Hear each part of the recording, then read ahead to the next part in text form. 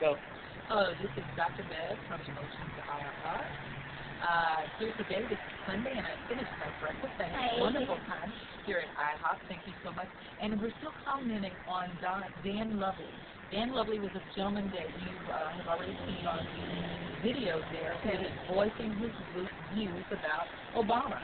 And he was saying Obama was uh, Urkel. Remember the show Urkel with Yeah. the, the, the, the uh, um, suspenders and that kind of Yeah. thing? Yeah. Yeah, you know.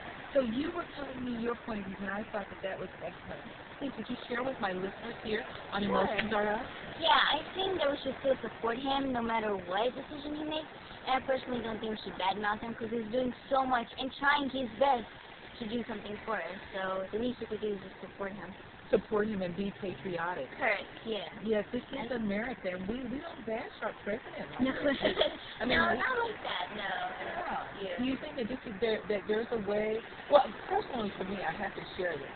I mean, I'm, I'm pretty well versed, I believe, and I've seen these views, you know, uh, in the newspaper. I've seen them on the internet. But I've never met personally anybody who was um, willing to talk to me like Dan Lovely was Yeah. about his views and be so passionate about Obama being a baby killer and him not he should be impeached. I, I've just never met anyone like that in person. yeah, I guess he's got the stronger views and wants ways to be heard, but I don't think that's a way to do it.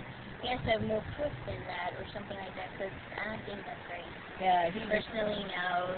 Yeah, you don't think he's got enough knowledge? No, no, I don't think so, no. So tell my listeners who you are. Tell me your name again. My name is Paige Malden. And how old are you? I'm 20. You're 20 years Yes. old. So did you get to vote this time?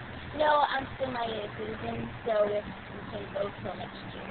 Oh, So I was kind of bummed. I was kind of hoping I'll vote this year, but we didn't get to, so maybe next year. Hopefully it Well, goes to the second time.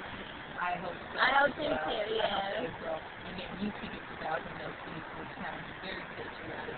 And exactly the kind of person that we want to be a United States Thank you so much.